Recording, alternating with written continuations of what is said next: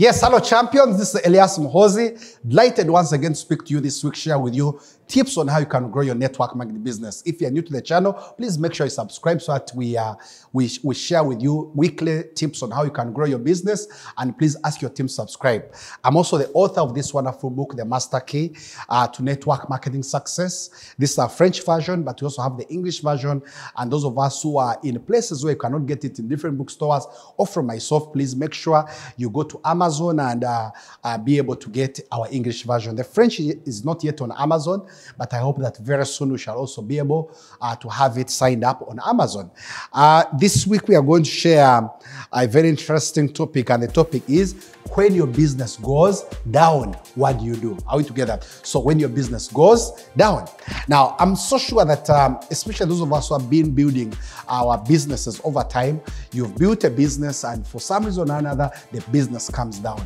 And this is the point whereby many leaders quit, many leaders panic, and it is such a very bad scenario whereby you are making very good money and before you know it, your money has come down, your team has quit, they're no longer motivated. What do you do? Many people go in panic mode, many people you find them quitting the industry, many people you find them trying to reinvent the wheel, trying to be able to get several things. I want to suggest that over the years I've been into network marketing, I have one answer towards that. That when your business is down, renew your commitment towards the basics. That your business is down because you're not doing the what? The basics. Don't think that you need any kind of magic, you need to, any special skill, maybe there's something you don't know how to do. No, no, no, no, no. The game has not changed. It's the same basics. And if you have to notice, all people have built very strong businesses. Some people in your company who are the top earners, one thing for sure, they have been very consistent on the on the basics, on the basics, on basics. Every time your business is down and you ask a mentor, someone who is actively building business, most likely they'll be able to share with you the same things that are within the basics. So I want to encourage you that when your business is down, renew your commitment towards the what? The basics. Now, what are the basics? To begin with, uh, when your business is down, go back and get back your tools, your business building tools. And among the tools that you need is number one, a name list. Ask yourself, when was the last time I updated my name list? Or do I need a new name list so that I, maybe that is more inspiring to me, that will be able to open my eyes to people? I want to suggest that all the time I've written a new name list. I go to my phone book and I think about uh, maybe I get a memory jogger. Even when I'm so many years old in network marketing, there is still a prospect that comes in my mind that I had not presented to, or someone who maybe it is appropriate to present to them again. So every time my business comes down or I feel that I need to renew my commitment, I get a, a, new booklet. I don't throw away the old name list, but I write a name list. And ideas begin to come of people who I could present to and they join my business. The other one is a presentation guide. Like have a presentation guide. Sometimes if your business down, you may you may not actually be having a proper presentation guide. Then the other one is Spire notebooks that when you're presenting, you have a new Spire notebook. Uh, then we're also going to talk about a notebook. Why a notebook? Is that when your business down, it's time for you to learn. That every time you go for training, have something jot down because uh, it could be the same old things, but every time you write them down, then you you realize that actually maybe they're obvious, but I'm not doing them.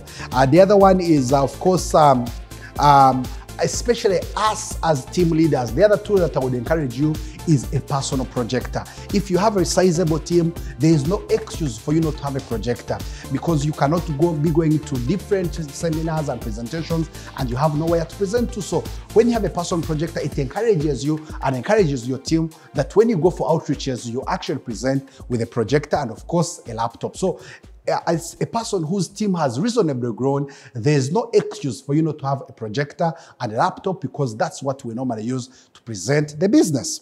Um, then the second other other, other basic is inviting.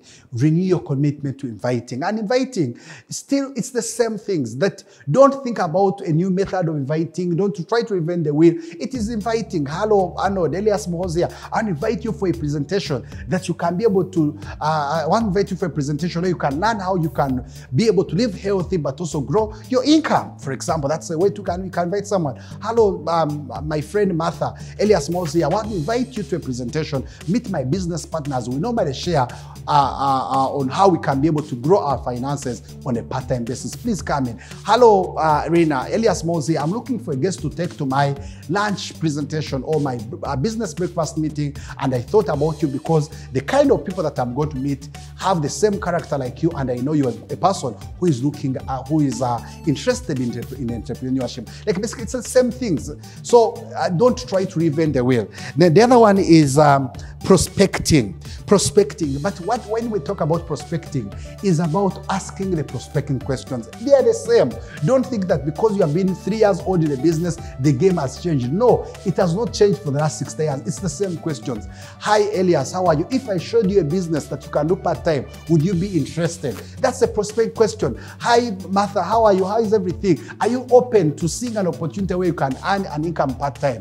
You, you, get the point. So basically, um, um, it's the same questions. It's just that you have to ask them to new people over and over again. Just increase the numbers to whom you send inviting uh, messages or to whom you ask for certain questions. Like, don't reinvent the wheel. It is the same thing. You just have to renew your commitment towards prospecting, towards inviting, and increasing the numbers. Reach out to newer uh, communities, to new friends, to new people, especially through the name list that we have talked about. Now, the other one is presenting. Still the same thing, but I want to suggest that presenting is only possible if you have set appointments. In my one of my previous videos, I talked about setting appointments. That without appointments, then you have no business. So make sure that before you sleep, who have you set an appointment with to meet and present two products, to meet and present to the business the following day? Whom have you set an appointment to follow up? So basically, always sleep with appointments of the following day. Then you present.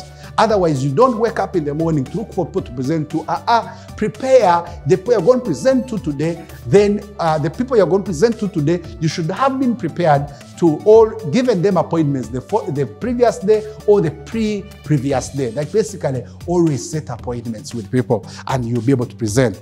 Uh, the other um, basic is training that when your business is down, it means there's something you don't know or there's something that you are overlooking that you should be able to learn. So renew your commitment to training and also to personal growth. Get a good book on network marketing. One common mistake networkers do is that when my business is down, they get a motivational book on another topic. You, know, you understand? No, no, no, no, no. Don't get a book on just personal growth. Get a book on network marketing. Now, you're going to get motivation from that book, but also important, you're going to get skills to build your business. It's not important for you to be motivated without skills. That's why I encourage networkers read books on network marketing. We are very good at personal growth. We are reading books on different topics, which is not bad. But if the only books you are reading are about attitude, you're reading about public speaking, as if you're going to become, I don't know, a public speaker, you're reading books on um, other topics. I've not said they are bad, but the majority of books you should read should be about network marketing, which will be able to give you the motivation and the skills all together. So it's very, very important that I've gone to many networkers' homes and they have rich libraries, personal growth, seven keys to whatever, different things and all that. But particularly on the topic of network marketing, there's none of them. So these are motivated people, but without skills. So someone is motivated, but the actual skills to build the business are not there. Why? Because they are reading on other topics and not on network what? Marketing. Then the other one is um, using products that when your business down, then use the products. Using products is one of the basics. Remember that when you use the products, it renews your commitment, it renews your enthusiasm, it renews your excitement about the products. So it's very important that you use the products. I personally use the products for my company and I use them every day consistently. And I'm very confident about them because I use them.